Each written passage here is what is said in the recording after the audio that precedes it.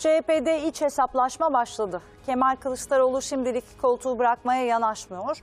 Bunun için de Cumhurbaşkanlığı seçiminde izlediği yola başvurdu. Birleşe birleşe kazanacağız sloganını yeniden gündeme getirdi.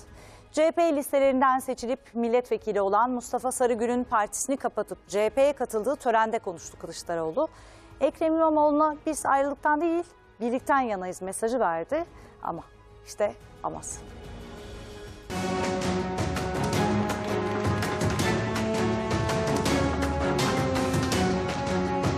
Bu tablo devam ederse önümüzdeki yerel seçimlerde de elde etmeyi arzu ettiğimiz o üstün başarıyı elde etmekte zorluk yaşarız.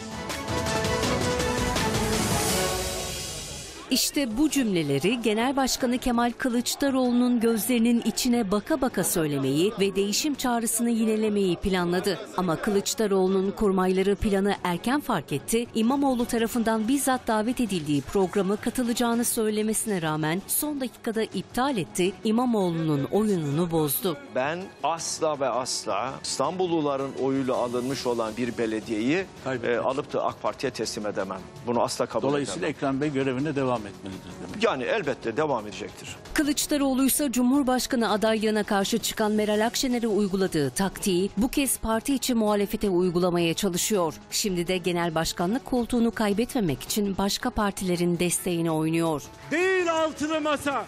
Türkiye'nin aydınlığa çıkması için gerekirse 16'lı masa kuracağım. İmajını birleştiren başkan olarak yinelemek isteyen Kılıçdaroğlu'na Mustafa Sarıgül can simidi oldu. Türkiye Değişim Partisi CHP'ye katıldı. Kılıçdaroğlu teşekkür konuşmasında satır aralarında yine İmamoğlu'nu hedef aldı. Birleşe birleşe kazanacağız. Biz ayrılıktan değil beraber olmaktan yanayız. Birlikte olmaktan yanayız. Kılıçdaroğlu bu taktiği ilk uyguladığında adaylığa onay vermeleri için oyları yüzde biri bile bulmayan partilere 39 milletvekililiği vermişti. Benzer pazarlıklar şimdi de Mustafa Sarıgül'le yapılmış olabilir miydi? Zaten CHP listelerinden seçilmiş olan Sarıgül'e bu kez de İstanbul Büyükşehir Belediye Başkan adaylığı vaat edilmiş olabilir miydi? Kulislerde yanıtı aranan bu soru katıldığı bir canlı yayında Sarıgül'ün kendisine soruldu. Sarıgül soruya yanıt vermek yerine ilginç bir şekilde geçiştirdi. Size Büyükşehir Belediye Başkanlığı teklifi geldi. Kabul eder misiniz, etmez misiniz? Can Erzincan'ımızın gerçekten tulum peyniri son derece değerli. Cimin üzümü son derece değerli.